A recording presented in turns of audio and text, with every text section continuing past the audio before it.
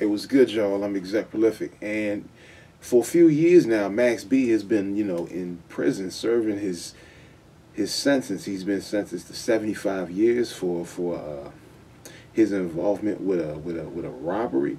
Um, I believe he has a a conspiracy charge or something to that extent. But long story short, he's sitting on 75 years, and you know, it's like the only updates we really ever hear about him is through French Montana, through interviews that he might do, and saying that Max B is in good spirits and so on and so forth.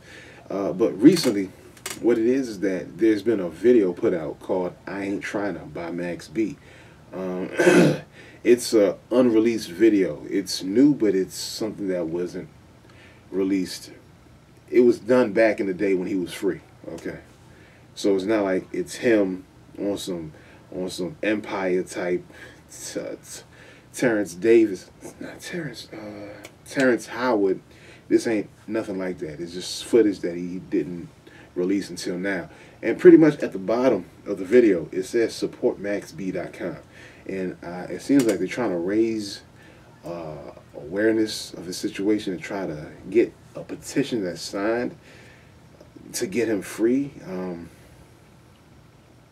I don't know how successful that's going to be because I'm seeing other artists trying to get out and getting shut down. And they don't, and they, you know, it's it's it's a it seems like a long shot, but I mean, of course, when it comes to your freedom, anything's worth a try. Uh, anyway, you know, whenever you check out the video, I ain't trying to by Max B. You know, if you want to support, you know, you can support him at supportmaxb.com.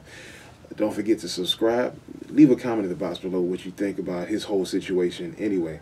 And also be on the lookout for the new uh, podcast. It's going to be, you know, basically me speaking on more stories at one given time, you know, so I'll be able to mix it up and it's a little bit longer than, you know, the short form video that I do uh, for those of you who just want to hear something while you're driving.